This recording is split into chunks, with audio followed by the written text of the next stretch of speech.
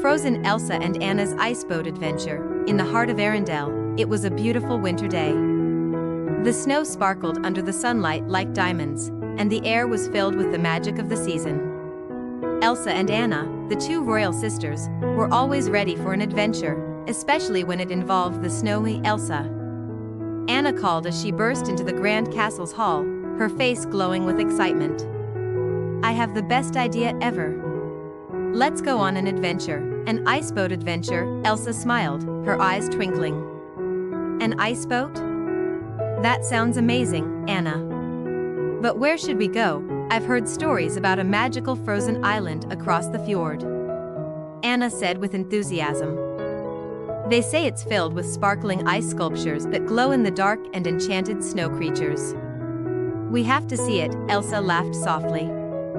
That sounds like a place worth visiting. Alright, let's go.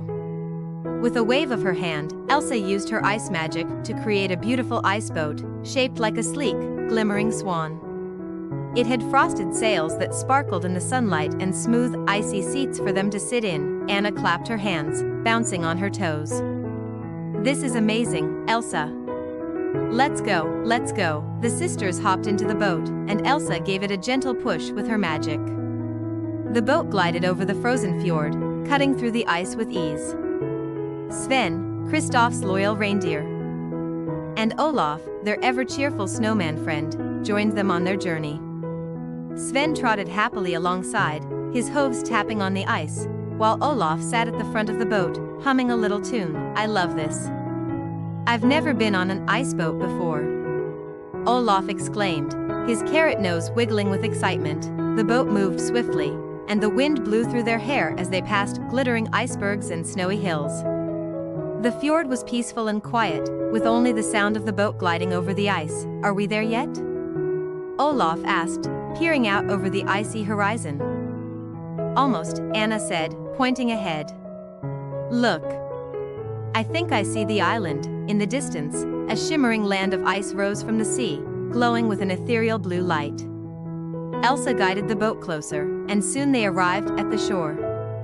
The island was more magical than they could have imagined.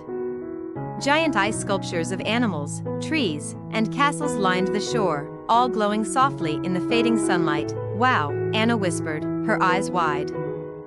This place is incredible. As they stepped off the boat, the ground beneath them sparkled like it was made of millions of tiny snowflakes. Elsa knelt down and touched the ice. There's something special about this place, she said. The ice here feels alive. Suddenly, a soft sound echoed through the air, like the tinkling of tiny bells. From the snowy forest ahead, small, glowing snow creatures appeared.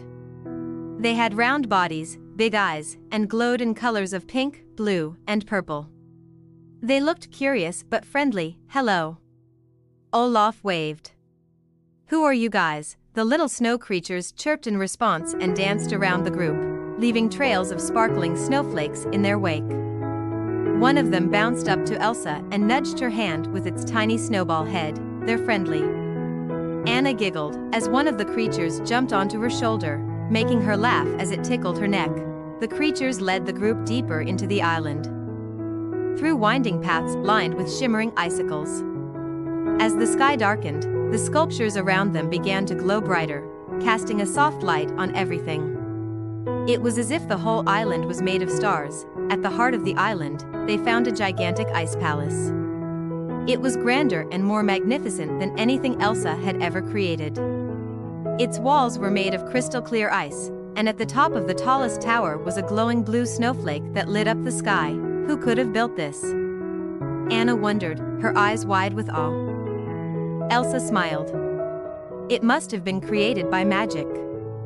Just like my ice powers, but maybe even older. As they explored the palace, they found a beautiful frozen fountain that shimmered with every color of the rainbow. At its base, there was an inscription in the ice. Elsa knelt to read it aloud. To those with hearts full of warmth, this palace will always be open. May you find joy and wonder within its walls, Anna smiled hearts full of warmth. That sounds like us, right? Elsa chuckled. I think it does. After spending time exploring the magical island, playing with the snow creatures, and marveling at the beautiful ice sculptures, it was time to return home. The sisters, along with Sven and Olaf, climbed back into the ice boat. As they sailed back to Arendelle, the glowing island slowly disappeared from view, but the magic and memories of their adventure stayed with them.